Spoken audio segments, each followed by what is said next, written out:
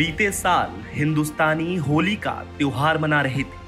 हवा में गुलाल था। लोग हाथ से हाथ मिला रहे थे। हाथों से स्प्रे करने के लिए पिचकारियाँ थी। मुँह पर मिठाई के निशा थे। दिन खुशहाल थे। महफिलें थी, नजदीकियाँ थी। लेकिन किसी को जरा भी इल्म नहीं था कि आने वाला कल एक बड़ी जंग लेकर आएगा। हवा में जहर होगा। हाथ से हाथ मिलाने में खौफ। हाथों में सैनिटाइजर की शीशियाँ होंगी। मुँह पर मास्क। दिन डर के साए में महफिले ख्यालों में। नजदीकियाँ सिर्फ़ फ़ोन पर। वो दिन थे। अब क्या दिन, क्या रातें हैं। दिलों में डर है और उसी की बातें हैं। इस वायरस या दुश्मन ने हमें अंदर से मारा तो बाहर से तोड़ा भी है। कोई जीवन छोड़ गया तो कोई किश्तों में छोड़ रहा है। कोई सांसों की गिनती थमने से रात की रोटी ना खा सका तो किसी को नसीब भी ना हो कहीं मासूम यतीम हो गए तो कहीं भाई बेसहारा। किसी माँ की गोद सूनी तो किसी पत्नी की मांग का सिंदूर सिमट गया, और किसी का तो सब कुछ मिट गया। सन्नाटा समझते हैं आप? चुप्पी। बीते दो साल से सड़कों पर यही तो देख रहे हैं सन्नाटा, मातम, अस्पताल, ऑक्सीजन की कमी और तमाम तस्वीरें। एक पल को लगता है कि तिल तिल मर रहे हैं, डर के साय में जी रहे हैं। हमारी गलती क्या है? कोई गलती नहीं हमारी। हम सब बेगुनाह हैं। लेकिन फिर क्यों इन परेशानियों का सामना हम हर किसी को करना पड़ रहा है। कल तक बेवजह परेशानियों के बीच रहते थे, वो गरीब थे। गरीब, बेवजह मुश्किलों में जीते थे। लेकिन आज क्या अमीर, क्या गरीब, सब एक ही तराजू में जी रहे हैं। हर कोई परेशान है, डर रहा है, खौफ में है। हर जगह यही मंजर है। और एक कहानी मैं जो आपको आज सुनाने जा रहा हूँ, इसमें शब्द कम हैं, एहसास ज़्यादा हैं। तो इसको अगर आप देखेंगे तो आप एहसासों के ज़रिए इसको समझने की कोशिश कीजिएगा। तो कहानी यूँ है कि कल तक एक बेटी जो अपने पिता की उंगली पकड़कर सड़क पर चलना सीखती थी। एक बेटा जो अपने पिता से साइकिल चलाना सीख रहा था। आज जब वो सुबह उठता है ना तो वो अपनी माँ से पूछता है, माँ, पिता कहाँ है? पापा कहाँ है?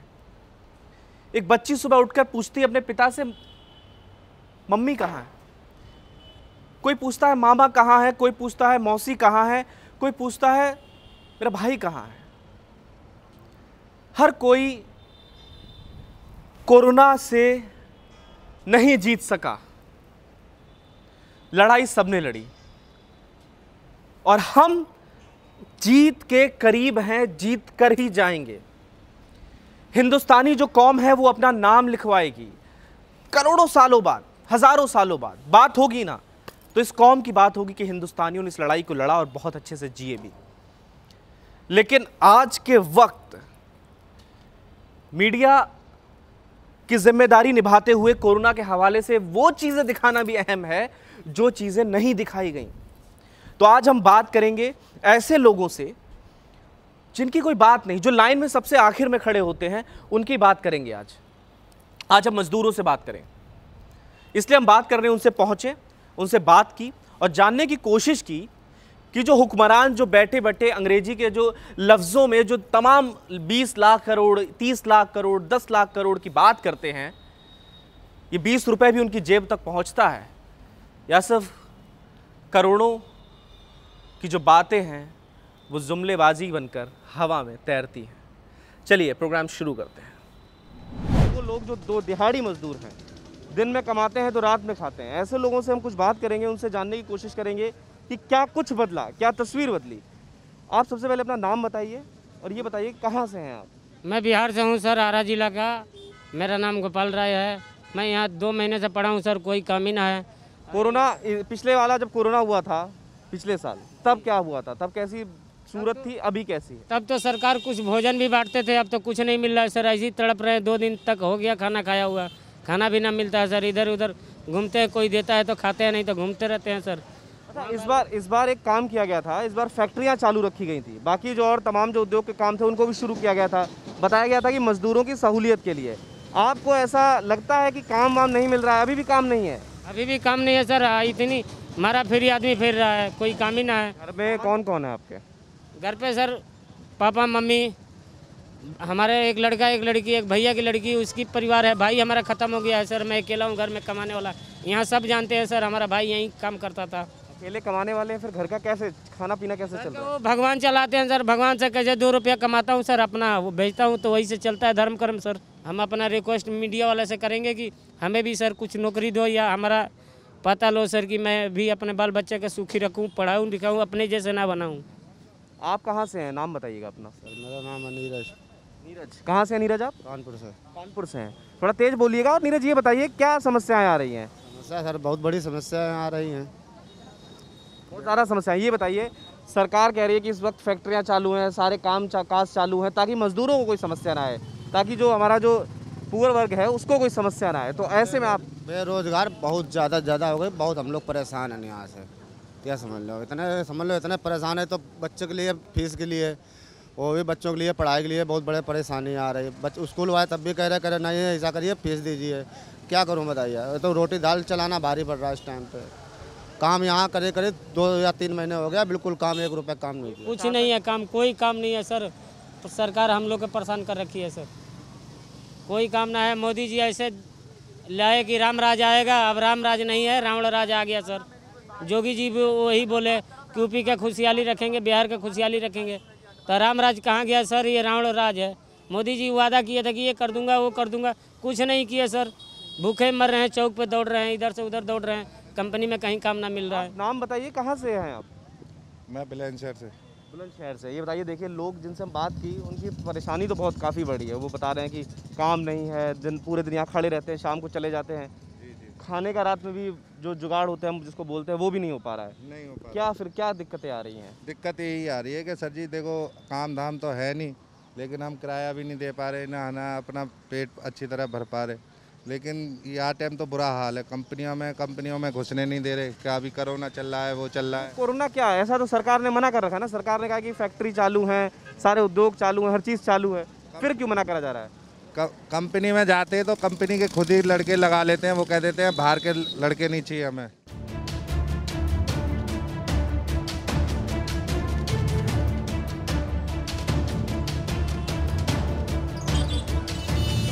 कैमरों को देखकर, इन मजबूरों की आस तो खूब जगी, लेकिन कैमरों के सामने बोलने से घबराने के लहजे ने कई लोगों की आवाज़ों को जगह नहीं दी। फिर भी हमने जो रिकॉर्ड किया, उसको लेकर हम आगे इस पूरी चेन को समझने बढ़ चले।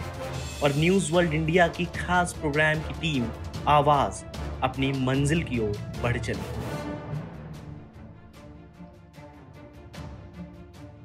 कि आखिर जब फैक्ट्रियाँ चालू हैं, उद्योग चल रहे हैं तो काम में गिरावट की आखिर वजह क्या है? यह आंकड़ों में नहीं, सड़कों पर पता चलता है। नोएडा में जो लेबर चौक था, वहाँ पर हमने जो तमाम जो वहाँ पर मजदूर मौजूद थे, उनसे बात की, उनसे जानने की कोशिश की। उन्होंने जो कुछ बताया, उसके बाद सीधे हम अब आए हुए हैं नोएडा सेक्टर 10 का बी ब्लॉक है ये। यहाँ पर गाउन बनाया जाता है मेरे पीछे देख सकते होंगे, यहाँ पर गाउन बनाए जाते हैं, ये फैक्ट्री है। यहाँ पर जो फैक्ट्री के जो ओनर हैं, राम प्रताप जी, उनसे जब हमने बात कर रहे हैं तो बता रहे हैं कि किस तरीके से पहले जो संख्या होती थी मजदूरों की, वो ज़्यादा होती थी, अब कम है। सरकार कह रही है कि सारी फैक्ट्रियाँ चालू हैं, सब कुछ ठीक है। क्या लग रहा है आपको? कहाँ पेंच है? पहले हमारे पास 45 कारीगर थे अभी आज के टाइम में 11 कारीगर काम कर रहे हैं। फैक्ट्रियाँ तो खुल गई हैं, लेकिन रॉ मटेरियल के लिए दुकानें नहीं खुली हुई हैं आने जाने के लिए कोई सुविधा नहीं है। गवर्नमेंट कर रही है कि हाँ जी, हमने फैक्ट्री खोल रखी है, सब कुछ कर रखी है। लेकिन फैक्ट्री चल रही है। फैक्ट्री चलाने के लिए रॉ मटेरियल होता है। रॉ मटेरियल जैसे हमारा लाजपत नगर, चांदनी चौक से काम होता है। लाजपत नगर बंद है, चांदनी चौक बंद है। तो हमें रॉ मटेरियल प्रॉपर मिल ही नहीं पा रहा है कि हम नहीं ऑर्डर सैम्पलिंग चलो अपना बनाना सोच रहे हैं कि सैम्पलिंग बना के रख लेंगे सीज़न के लिए। लेकिन सैम्पलिंग भी नहीं बन पा रही है, क्योंकि रॉ मटेरियल प्रॉपर अवेलेबल हो नहीं पा रहा। अच्छा।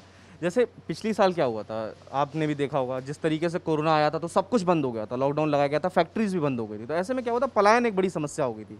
मजदूर अपने घर की ओर भागने लगे थे। इस बार सरकार कह रही है कि फैक्ट्रियाँ चालू हैं, सब धंधे चालू हैं तो मजदूरों को समस्या नहीं आ रही। लेकिन सड़क पर तो मजदूर वहीं खड़ा है। आप बता रहे हैं कि आप खुद परेशान हैं इस चीज़ से। हमारे वहाँ कारीगर 45 कारीगर्स हैं। हमने काम प्रॉपर रॉ मटेरियल ना होने की वजह से हमने कारीगरों को खुद छुट्टी दे दी कि भैया अभी हम हमारा कुछ फैक्ट्री रूटीन वाइज चल ही नहीं सकती। तो पैंतालीस जगह पे ग्यारह कारीगर काम कर रहे हैं। बाकी तो कारीगर वैसे भी घर गए। अच्छा आप ये कह रहे हैं कि खोलने की अनुमति तो मिली हुई है लेकिन कोई मतलब नहीं बन रहा क्योंकि ऊपर से जब चीज़ आ ही नहीं रही। रहता ज़्यादा बेटर था। अगर ना खुल के बंद रहता तो हमारे लिए भी हम भी घर पे कम से कम दो महीना रेस्ट करते। कुल कुल ये बात है कि ये सब दो एक धोखे की तरह है कि फैक्ट्री तो खुली हुई है। लेकिन जब काम ऊपर से आ ही नहीं रहा है, जब नीचे जा ही नहीं रहा है सप्लाई हो ही नहीं रही है तो उस पर समस्या आ रही है, इस पूरे जो साइकिल है। पूरी मतलब ये प्रॉब्लम आ रही है, खुलने के लिए खुला हुआ है, लेकिन एक जो रूटीन घूमना चाहिए कहीं से मेन चीज़ मार्केट खुलेगा नहीं ऑर्डर कहाँ से आएँगे? मार्केट से ही तो ऑर्डर आने हैं। तो मार्केट बंद है तो फिर हम कैसे सर्वाइव कर सकते हैं? वही वही मैं कहना चाह रहा था कि मतलब देखिए मजदूरों के लिए क्या है कि हाँ ठीक है सरकार खाना पानी राशन का इंतज़ाम करा देती है जुगाड़ करा देती है। आप लोगों के लिए तो मेरे ख्याल से वो भी कहीं से कुछ है नहीं। नहीं हमार हम लोगों के लिए ऐसा कुछ मतलब वो भी नहीं है कि हाँ जी कुछ मतलब हमें सुविधा मिल जाए। कोई जैसे मतलब लोन की मतलब कुछ इंस्टेंट ई जा रही होंगी उसकी। ई सारी जा रही हैं जो की एम में भी मतलब पिछले बार तो चलो छः महीने का ग्रेस मिल गया था। इस बार कोई सहूलियत कुछ भी ग्रेस नहीं मिला। ऐसे में दिक्कतें बड़ी आ रही होंगी। दिक्कतें तो आ ही रही हैं। पिछले साल से इस बार ज़्यादा दिक्कतें हो गई। लटकते लहंगे झूलती किस्मत की बानगी बयां कर रही हैं। मुस्कुराते चेहरे के पीछे की थकान साफ़ बताती है कि आँखें आस में है। जो कुछ खबरों के बाज़ार में बिखरा है वो बस बिक रहा है। लाखों करोड़ों के पैकेज का वही हाल है जो छुटपन में चूरण के साथ चिल्ड्रन बैंक वाले नोटों का खजाना हुआ करता था। दिखता था, पर चलता नहीं था। शायद कौमा में था। वो पैसा हमारे सरकारी पैकेज के पैसों की तरह ही तो है। काश गांधी जी ये सब देख पाते कि नोट में उनकी फ़ोटो की अहमियत कम और जमीर की अहमियत थोड़ी सी ज़्यादा होती है। जहाँ जमीर पक्का है, वहाँ ये चल जाता है। गरीब का पेट पल जाता है।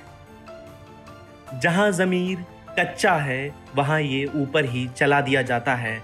महँगा लेमन सोडा आ जाता है।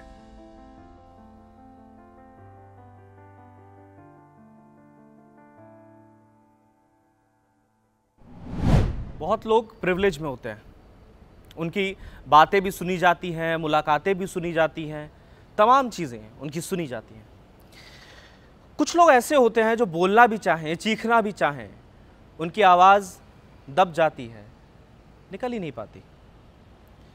उन्हीं में से ये लोग हैं, ये मज़दूर हैं।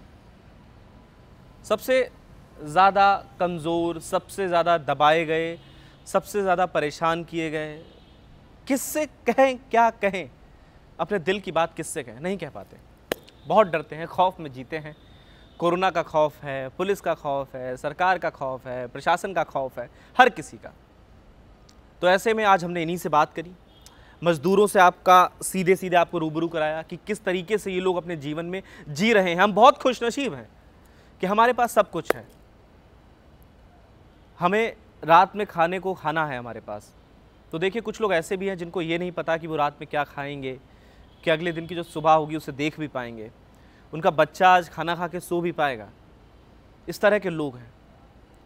और आप कह सकते हैं कि इस तरह की कहानी दिखाने से टीआरपी की कोशिश होती होगी और ज़्यादा अपने आप को रीच बढ़ाने की कोशिश होती होगी, लेकिन नहीं, ये कहानी ऐसी नहीं है। ये कहानी एहसास की है, इसको जीना चाहिए। मुझे फ़र्क नहीं पड़ता कौन क्या सोचता है। तो ऐसे में इस चीज़ को समझिए कि लोग किस तरीके से जी रहे हैं, लोग किस तरीके से जीने को मजबूर हैं।